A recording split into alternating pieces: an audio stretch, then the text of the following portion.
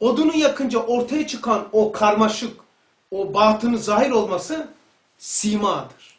Odun da şekildir. Abi peki bu simayı değiştirme bir şeyin var mı yani? Var. Var tabii. Ee, odun, o ağacın di, e, şeyiyle, dalıyla, budayla bununla uğraşma kesi. Değiştiremezsin. Tekrar alttan çıkar. Gen, Ge- genini, genetini değiştir, çekirdeğini.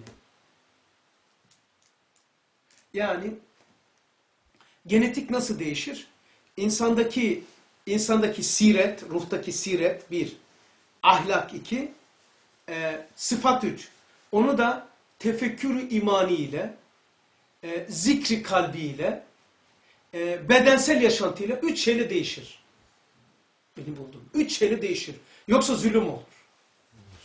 Mesela tefekkürü imani ile, zikri kalbiyle, e, ubudiyeti e, bedeniyle. Üç tane şeyi var kıblesi zaten bunun. Tamam? Yani bedensel ubudiyet demek sünnet-i seniye, zikri kalbi, tefekkürü imani.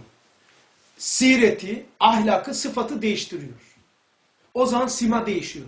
Namaz kılan bak sabah kalktı değil mi? Gece yarısı kalktı. İyi dinleyin de. Gece kalktın. Teheccüd kıldın. Eylem değil mi?